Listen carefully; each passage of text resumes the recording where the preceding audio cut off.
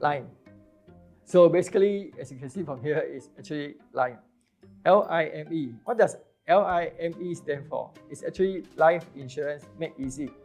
So whenever we see client, normally they'll ask us, uh, how do you showcase IFA? Uh? You tell me you're IFA, but so what? So basically, what, how we show them is we, we demonstrate to them how our Lime work, uh, life insurance made easy. So we have 18 insurance companies. Just take uh, critical illnesses cover uh, as an example. 18 insurance company, we may have 40 to 50 types of uh, CI cover. And then from the Lime, we will reduce it to about five types. And then from there, I will also showcase to you our client's choice, maybe one or two types. You know, when you go into a restaurant, you see a la carte menu, 108 pages. Then be very confusing, right?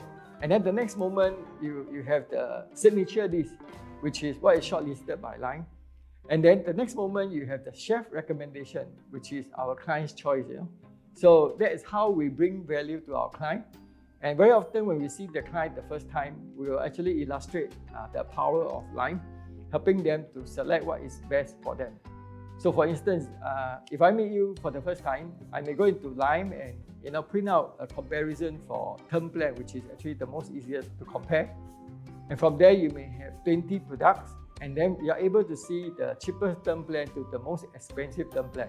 And sometimes the price can be two, three times different. I think very often you bring about uh, client-centric delivery to the, to the marketplace, to our clients. And that brings about uh, high comfort level and high trust level. And many of our consultants, the moment they secure a client, they secure a client for life. Because if you don't stay with us, where else can you go?